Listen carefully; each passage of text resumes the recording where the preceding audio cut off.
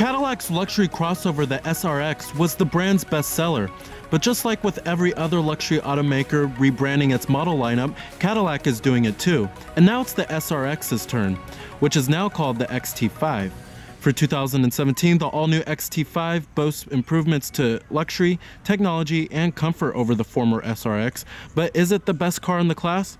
Well, let's go ahead and take a closer look at this all-new 2017 Cadillac XT5.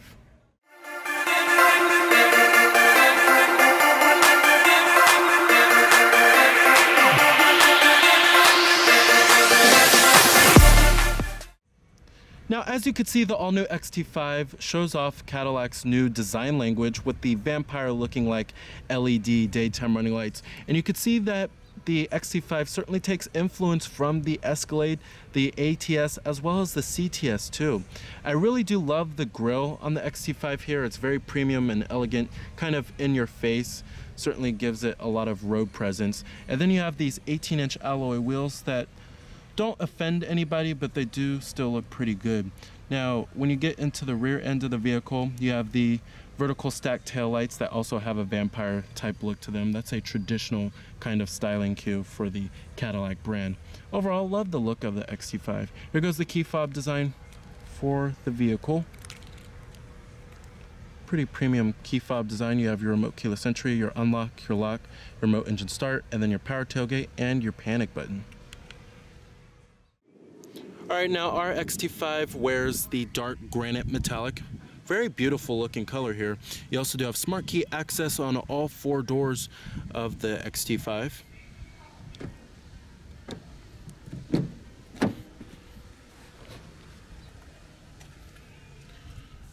And it features a full-on black leather interior.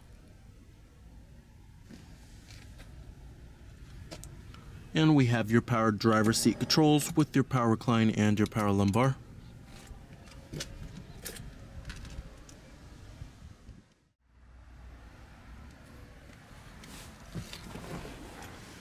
Alright, now stepping on inside of the new XT5, gone is a very cheap looking interior in favor of a more rich and premium looking interior that's much more modern looking as well.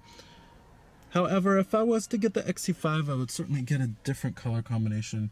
Um, there's just a lot of black going on inside of here, not a whole lot of contrast.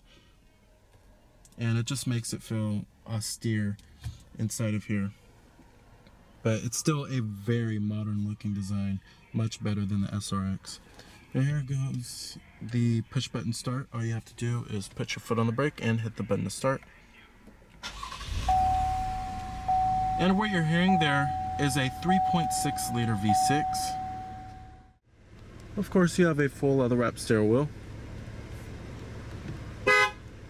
Now, just like with many other modern vehicles nowadays, they're starting to change the gear shifters and make them more confusing. And this is the case with the XT5. And it kind of reminds me of BMW a little bit. But what I really don't like about this shifter is that you have to pull to the left like this to go into reverse. And I just don't know why they couldn't make it a traditional kind of shifter. And you just go down for drive like that. And then you have your manual mode too and you go push for park. But you have to press on the unlock button on the left right here on the left side of the shifter to put it into a gear. When you put the vehicle into reverse, this will display your rear view camera and then you have guidance lines and trajectory. Overall, this shifter certainly takes a little bit of time to get used to, but I'm just not a big fan of it. And I'm gonna go ahead and turn on the lights and the hazards. All windows are fully automatic in the XT5. Let's go and pop up the hood and check out the engine bay. You also do have heated exterior mirrors and blind spot detection. Now compared to the former SRX, the all new XT5 here went on a diet, shedding about 200 pounds, which in result helps out fuel economy. I really do love the Cadillac symbol they put on the side right here. And you have 18 inch alloy wheels.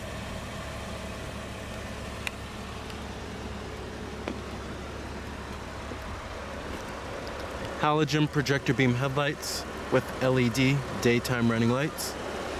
And you have front parking sensors.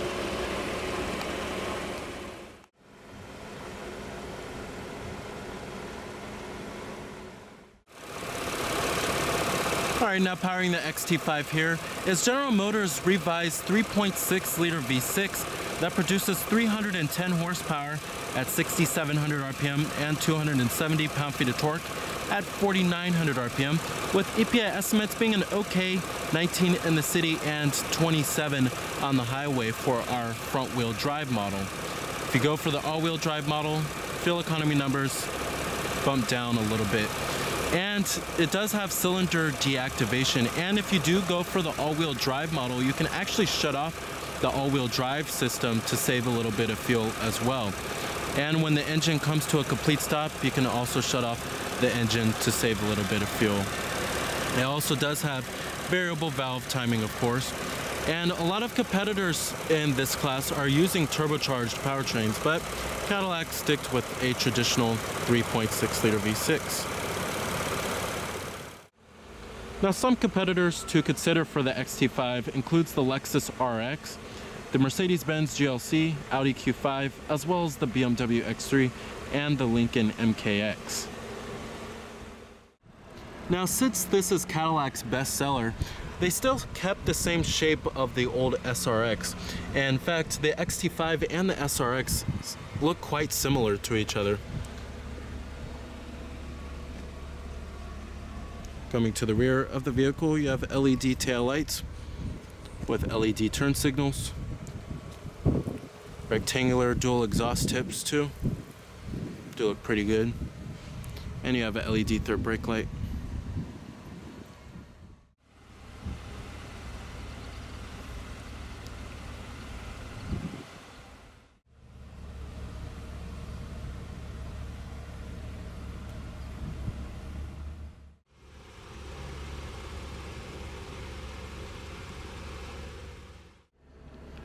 Total vehicle price for our particular XT5 is $47,950. EPA estimates, like I said, are 19 in the city and 27 on the highway.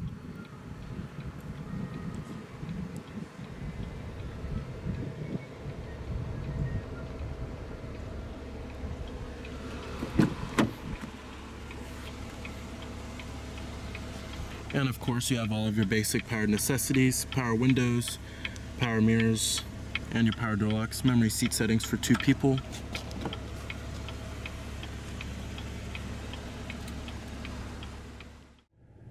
Now, like I said earlier in the video, the XT5 has a very rich and premium looking interior, except for I just don't like this color combination we have here. But it has soft touch materials in all the right places, and you'll find them on the upper door panel, mid door panel, and the armrest, um, center console lid, and this part where you might hit your knees and up on the dashboard it's all soft touch. That's what you expect out of a luxury vehicle. Build quality is much better than the old SRX there's no creaking materials or anything of that nature. Overall this is a really nice interior. I'm very impressed with Cadillac. Now coming to the steering wheel design love the new steering wheel design. It's very stylish very modern looking too. And coming over here we have your heated steering wheel and then you have your controls for the little information center, which I'll get to in just a second. You also do have your steering wheel mounted audio controls and your cruise control and your voice recognition and your Bluetooth phone controls. Now there's also a lot of advanced safety technologies that you can get on the new XT5 here, which includes the blind spot detection, as well as adaptive cruise control for collision warning, lane departure warning, all the modern stuff. Up here you also do have auto dimming rearview mirror, your OnStar, and a nice panoramic sunroof that extends all the way to the back. With the power sliding shade. Then you have your sunglass container. And your garage home link is right up there. And down here you will find a little storage cubby. Nice and nifty for a little cell phone anything like that. Then you have dual cup holders, and this also closes. It's a lid right there. Then right here you have your traction control off button. Mm, coming to the center console, decent amount of space here. And then you also have two USB charging ports down there, as well as an auxiliary input. Not too shabby. Seating comfort in the XT5 is also excellent. These seats are really supportive and they provide a decent amount of side bolstering and thigh support is also pretty good. And you also do have a manual thigh extension down here too, which helps out a lot. Great for long road trips. Um, they are a little on the firm side. I would say that the Lexus RX's seats are a little bit more plush, but these seats are still very comfortable. Now, also a notable feature of the all-new XT5 is an available streaming rear view mirror. That's a feature that's borrowed from the flagship of Cadillac, the CT6. And it's actually a pretty cool feature. Coming down here, we also do have your climate control. So you do have dual zone automatic climate control here.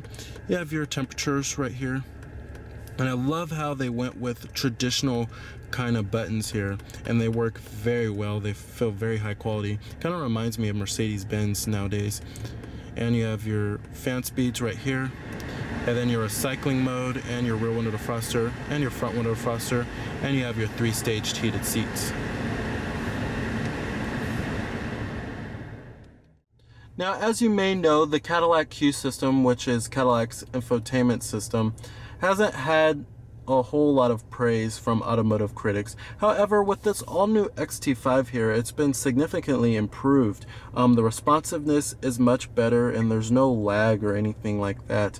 Um, coming to your audio sources, your different audio sources do include all of the norm. We have AM, FM, XM satellite radio. Your different media sources do include your auxiliary input, of course, Bluetooth streaming audio, and your USB port with iPod integration. You also do have a home button right here which takes you to the home screen. Then you have your phone, you can hook up your Bluetooth phone, all of that good stuff. We also do have voice recognition. Let's go ahead and test out the voice recognition. Command please. Tune to 101.1 FM. 101.1 FM. The voice recognition does work fairly well in the XT5 here. You also do have your projection feature, which is for your Apple CarPlay and your Android Auto. Then you have your settings for the system, time and date, language, valet mode. You also do have the teen driver feature, radio, vehicle, Bluetooth.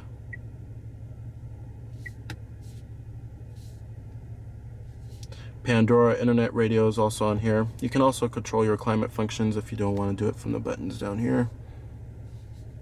Then you have your weather. You can check your weather. It gives you a five-day forecast. You can change the location or you could do hourly if you would like. Let me go to the navigation. Coming to the navigation system, the nav is okay. The rendering is okay. Um, it's nothing that wows me here. However, it does have live traffic and it does have your points of interest, shows you traffic incidents, all that good stuff. You can enter in your destination by voice or manually putting it in by address or intersection.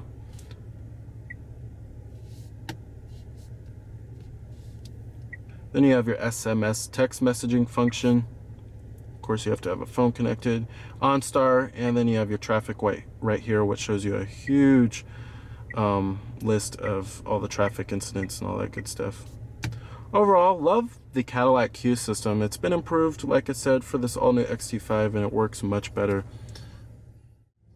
Now the whole instrument cluster for the XT5 has a pretty traditional kind of setup. However, I'm really not a big fan of the tick marks. Um, they're pretty small to read, I have to say, but the font on the numbers are pretty good and big and bold.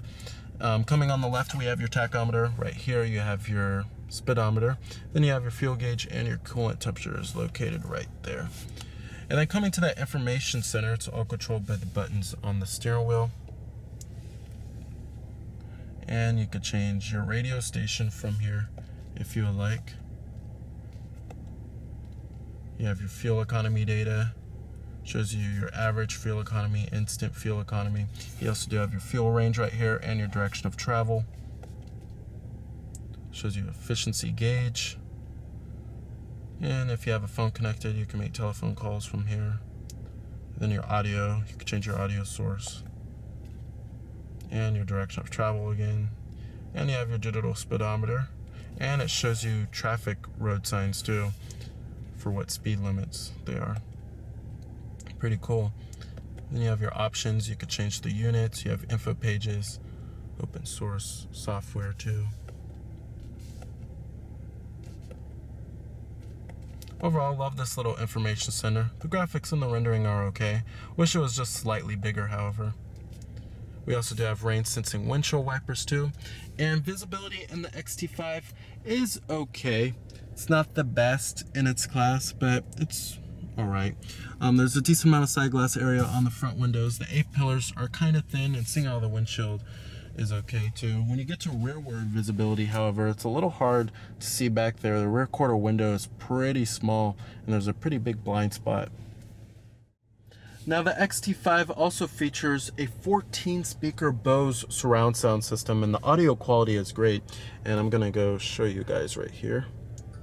Even if it's on silent. I love that. With Tile and the Tile app, finding your things is easy. For a limited time, go to getmytile.com for up to 40% savings and free shipping. This offer is only available when you order direct. As you can see, it's very crisp and clear, and it sounds amazing, especially in person.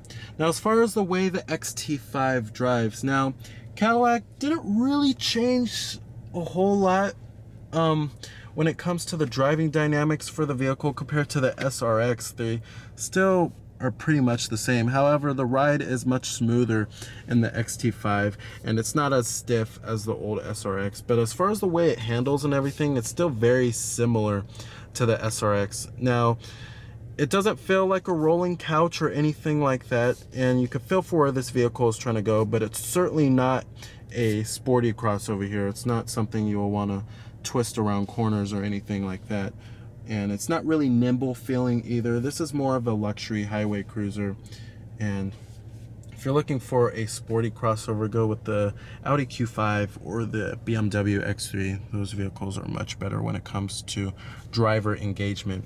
However, if you're looking for a quiet highway ride and a very comfortable ride quality, then the XT5 will certainly satisfy. The 3.6 liter V6 also provides a decent amount of power um, for this vehicle. However, some other vehicles like the BMW X3 and the Lincoln MKX provide turbocharged engines which have that grunt to them. However, this 3.6 liter V6 is refined and pulls this vehicle around smoothly. All right, and I'm gonna go ahead and shut it down. Let's go ahead and check out the rest of the XT5.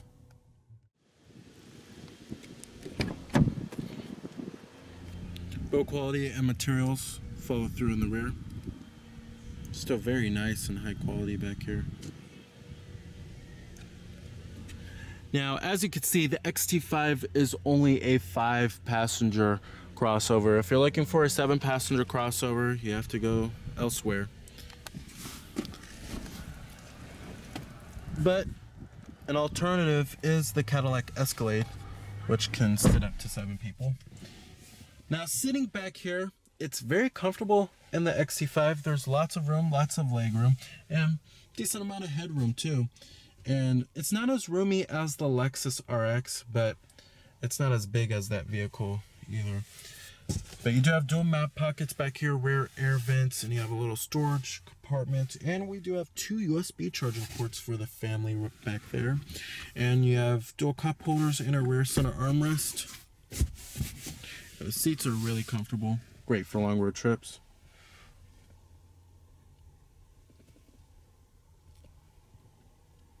Love this panoramic sunroof. This do have LED map lights. All right. Now the XT5 lags behind some of its competitors when it comes to cargo space, like the Lexus RX. However, there's still a decent amount here. Now, the seats back here do fold down 60-40 split, by pulling up on these or by pulling on these levers right here. It's a very simple mechanism as you can see. And then you also do have your spare tire right here too. And a 12 volt power outlet. Like I said, you do have a power tailgate.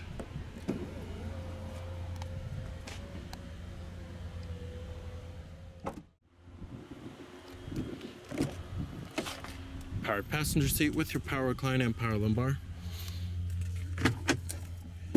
Glove box compartment in line with belt. You also do have a little storage cubby down here with a 12 volt power outlet. So the Cadillac XT5 builds upon the recipe of the Cadillac SRX, and it certainly still should be a bestseller for Cadillac with all of these improvements to luxury, comfort, and technology.